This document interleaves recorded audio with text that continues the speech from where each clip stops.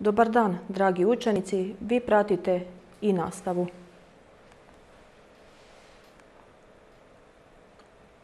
Prisustujete času srpskog jezika za treći razred osnovne škole. Moje ime je Jovana Gavrilović i danas ćemo zajedno čitati i analizirati pesmu Vojislava Ilića Prvi sneg.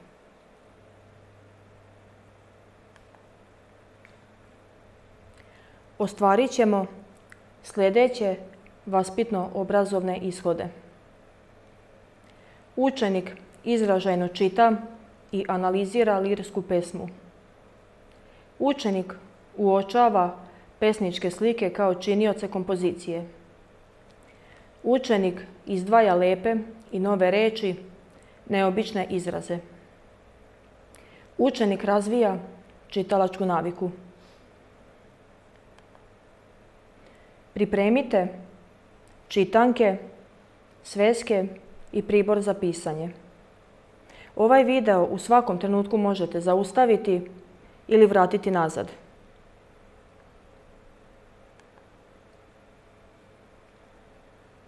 Dragi učenici, kako izgleda priroda kada padne sneg? Kako se vi osjećate u zimsko snežno jutro? Volite li sneg, igru na snegu, zimske aktivnosti?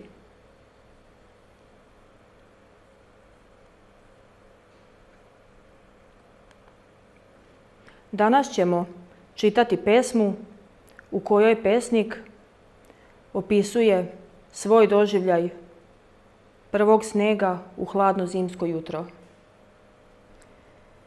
Prvi sneg. U osvitku zore, kroz sumračak tavni, pokrivene snegom, počivaju ravni. A studeni lahor, kroz doline mirne, preko pustih polja, kad i kada pirne. I svihorom lakim seoca se hvata, pa zasiplje snegom i strehe i vrata. A u selu jošte u prozor je milo, noć vedra i hladna ne podiže krilo. Iz daljine samo lisica se krade, pa kokoši vreba i piliće mlade.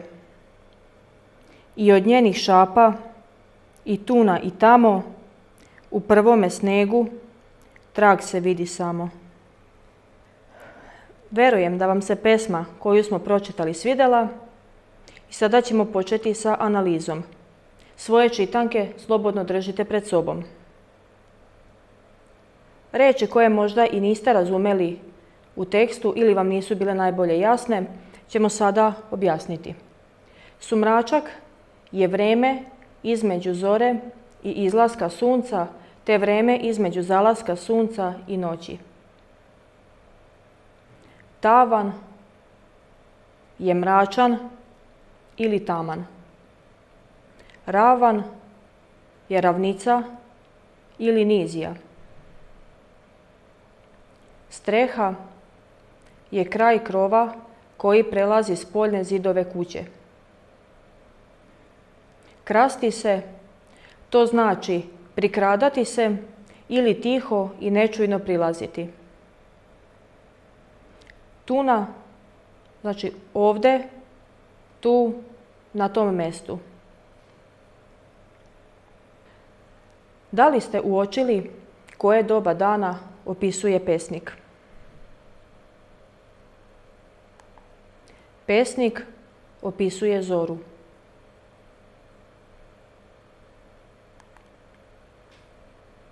Kakva je priroda u to vrijeme? U to vrijeme napolju je još uvijek mračno i hladno.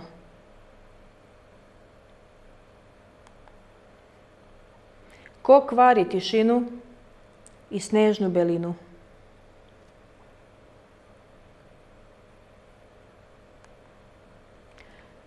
Belinu snega kvare tragovi koje ostavlja lisica dok se prikrada kokošima.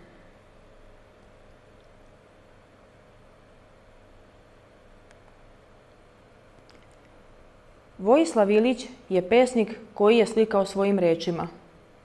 Tako ćemo i mi sada u ovoj pesmi uočiti pesničke slike koje je on rečima oblikovao. Pogledajmo prvu strofu koja je uokvirena plavom. U osvitku zore, kroz sumračak tavni, pokrivene snegom, počivaju ravni. Koju sliku možete zamisliti? Možete li zamisliti ravnice pokrivene snegom u vrijeme dok sunce još nije izašlo? A zatim, u sljedeće dve strofe, a studeni lahor kroz doline mirne, preko pustih polja, kad i kada pirne. I svihorom lakim se oca se hvata, pa zasiplje snegom i strehe i vrata. Zamislite selo zasuto prvim jutarnjim snegom.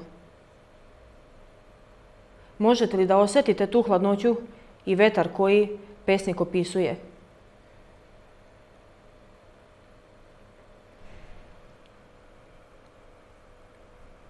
Pogledajmo četvrtu strofu.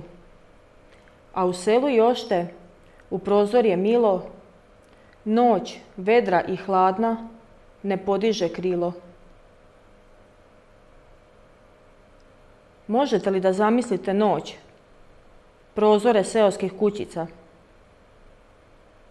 Možete li da osjetite hladnoću koju možda ukućeni koji su unutra na sigurnom osete?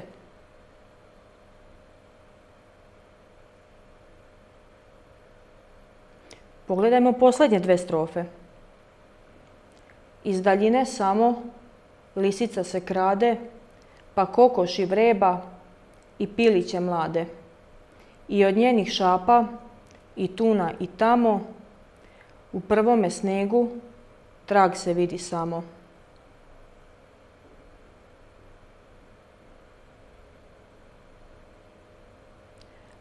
Zamislimo lisicu koja se prikrada kroz prvi sneg, ostavlja svoje tragove i pokušava doći do kokoši i pilića. Pesničke slike koje je pesnik stvorio rečima mi možemo zamisliti u svojim mislima i u svojoj mašti.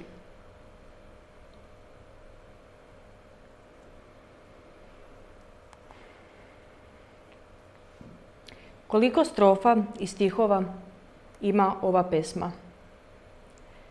Vi ste naučili da strofa predstavlja jednu celinu sačinjenu od stihova.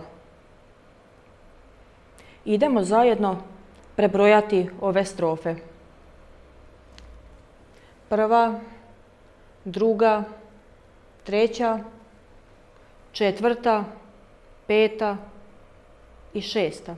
Dakle, ova pesma sastoji se od šest strofa. A koliko stihova ima ova pesma?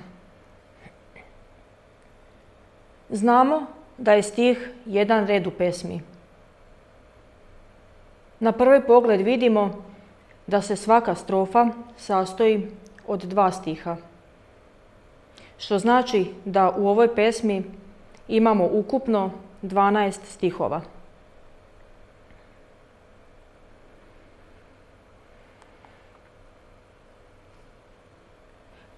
Prisjetimo se šta je rima. Rima predstavlja podudaranje glasova na kraju stiha. Ponovo pred sobom imamo tekst pesme. Obratimo pažnju na reči podvučene na kraju stiha. U prvoj strofi to su reči tavni i ravni. U čemu se ove dve reči podudaraju? Vidimo glasove koji su jednaki, što znači da se ova dva stiha rimuju. Pogledajmo sada drugu strofu. A studeni lahor kroz doline mirne, preko pustih polja kad i kada pirne. Podvučene reči mirne i pirne se podudaraju, što znači da se i one rimuju. U trećoj strofi istaknute su reči hvata i vrata. Jasno vidimo podudaranje glasova u tim rečima. A u selu Jošte u prozor je milo, noć vedra i hladna ne podiže krilo. Istaknute reči milo i krilo se rimuju. Iz daljine samo lisica se krade, pa kokoši vreba i piliće mlade. Koje reči su ovdje istaknute? Krade i mlade. Pogledajmo glasove koji se podudaraju. I u posljednjoj strofi i od njenih šapa i tuna i tamo u prvome snegu trag se vidi samo. Deco, koje reči se ovdje rimuju? Tamo i samo, jer imamo glasove koji se podudaraju.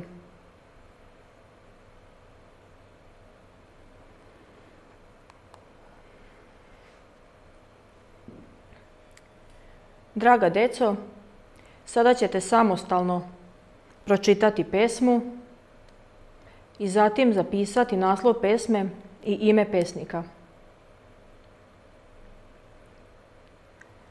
Zapišite broj strofa i stihova te prepišite reči koje se rimuju.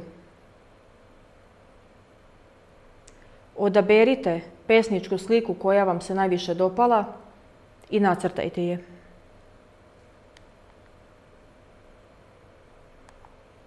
Hvala vam na pažnji i doviđenja.